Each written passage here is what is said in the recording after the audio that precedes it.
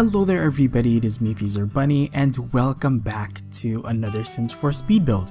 So today's build is a little bit unusual on the channel because we are building a starter home.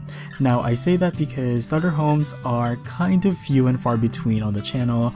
I normally do medium to large size builds because to be honest there's really not much to do when it comes to starter homes. You have to work within a budget and I just can't work with limitations. Sometimes but this time I felt really inspired to do a desert starter after seeing this house on Twitter, which reminded me of the house from the movie Ingrid Goes West. For those of you who follow me on Twitter, you've probably already seen that tweet from a couple of weeks to about a month ago.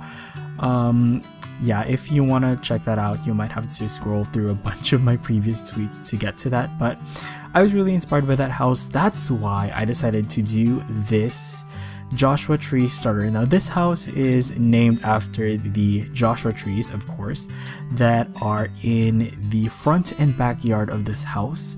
Um, so this house ended up being under 18k, which actually is quite surprising for me, because usually I struggle, you know, building something under 20k, but this one somehow managed to be under 18k, which is kind of a miracle, not gonna lie.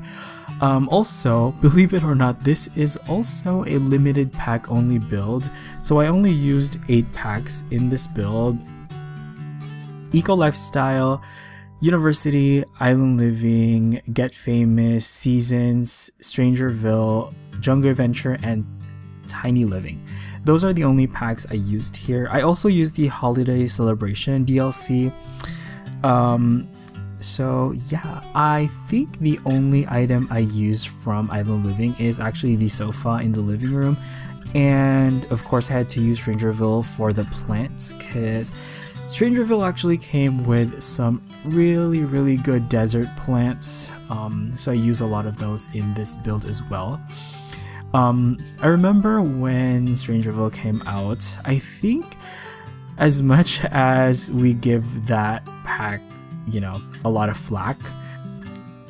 I think we owe it to Strangerville for the unlocked debug category because if you remember when Strangerville came out a lot of people complained about the plants not being accessible in build buy mode and then the Sims team really quickly remedied it by enabling the plants on the show hidden objects category and then shortly after that they gave us the cheat you know, the amazing, amazing bb.show live edit objects cheat, which basically unlocked um, most of the world decorations. So, I mean, that's probably just me. There wasn't really an official announcement about this, but I feel like we owe it to Strangerville that we have the live edit objects.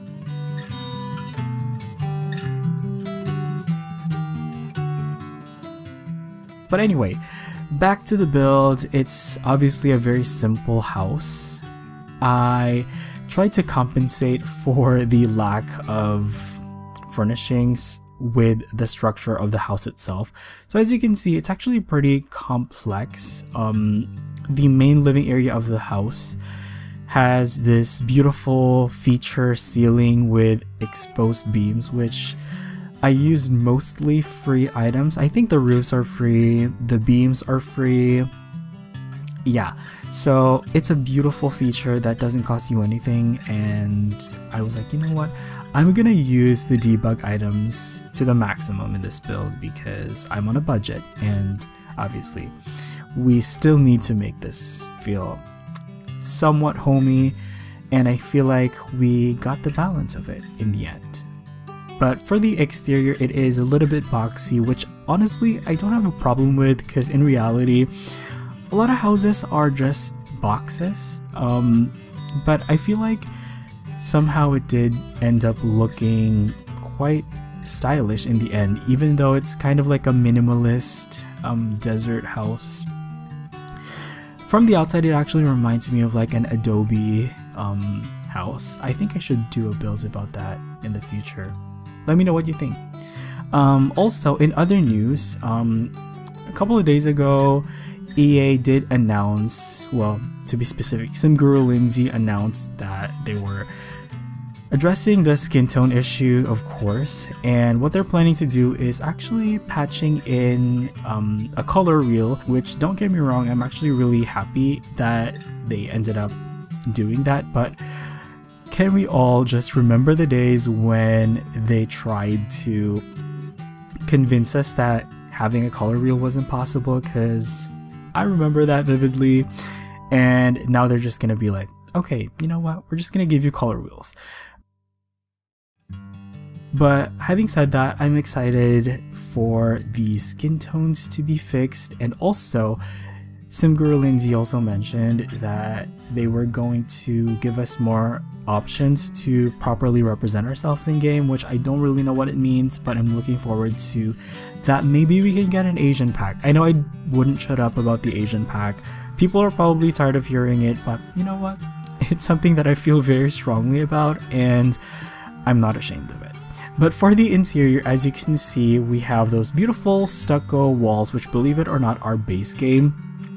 That chimney right there is one of the items from the holiday pack, which you get for free. Oh, actually it's not a chimney, it's a fireplace. Excuse me, I'm not thinking right now. Um, yeah, it's a fireplace. It's not really a functional fireplace, but I feel like it's a nice little decoration piece And that's the sofa I mentioned earlier that is from Island Living.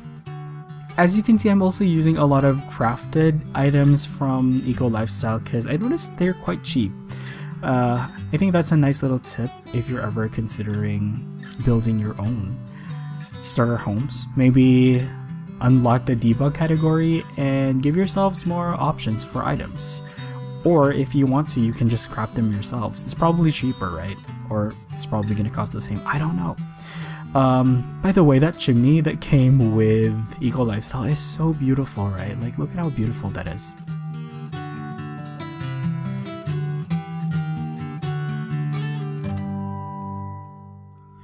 So this build is coming up on a Wednesday, believe it or not.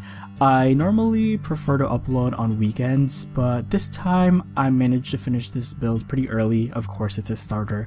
So happy Wednesday. Also, it's the last day of September. I would make a Wake Me Up When September Ends reference for those of you boomers who know that song, but I feel like I've already overused that. So anyway, for the kitchen, I just kept it really simple. I used um, the counters from Jungle Adventure. I think those are my favorite counters, I have to say. It's either those or like the minimalist ones that came with base game, but I really really love those counters. And the swatches that they come with are so good. I wish they were this consistent about the swatches because sometimes, you know, the pack swatches are a little bit hit or miss. And in recent I would say the swatches haven't been so good. And I'm looking at you, Eco Lifestyle, because, okay, don't get me wrong, I like Eco Lifestyle, but some of the swatches, like, we got so many orange woods and they don't even have texture. You know, the wood, some of the wood textures from Eco Lifestyle, like, are just plain and some of them are just, don't get me wrong, like, some of the swatches from Eco Lifestyle are beautiful. Like, the chair swatches are so beautiful, especially like the more worn out looking ones, but also some of them are just weird, especially like for the doors and windows. Like, are those supposed to be wood swatches? Why don't they have texture? I don't really know.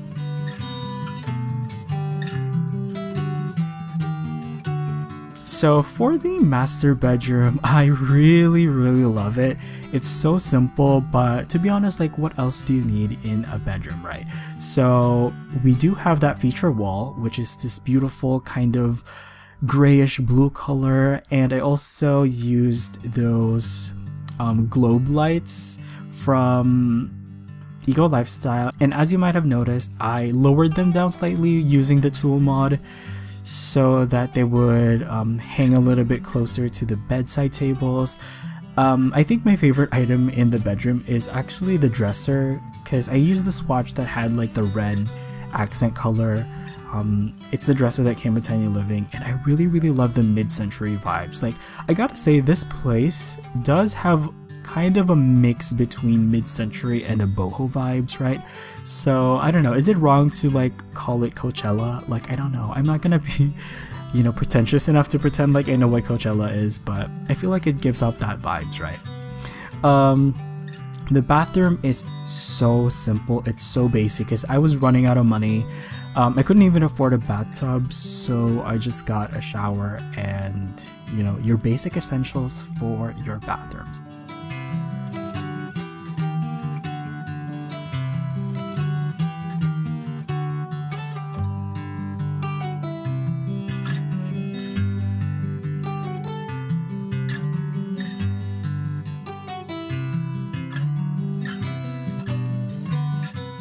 Also, I'm not sure if you've noticed, but for some reason my voice sounds a little bit raspier today. I don't know why. I just woke up like this. I had like some ginger tea to help with the voice recording, but I don't know what's going on. Hopefully it's not something too too crazy, if you get what I mean.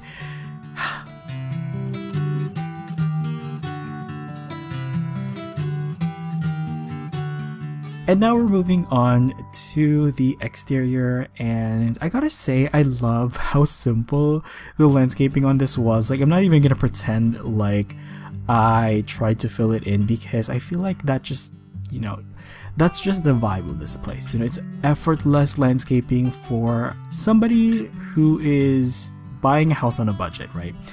Uh, and I gotta say that the plants kind of help with that a little bit.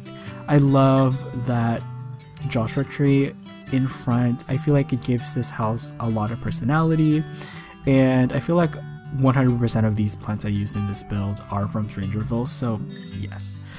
I also love that the only thing we have in the backyard are these lounge chairs and I did give them this, you know, pastel colors that remind me so much of like mid-century architecture.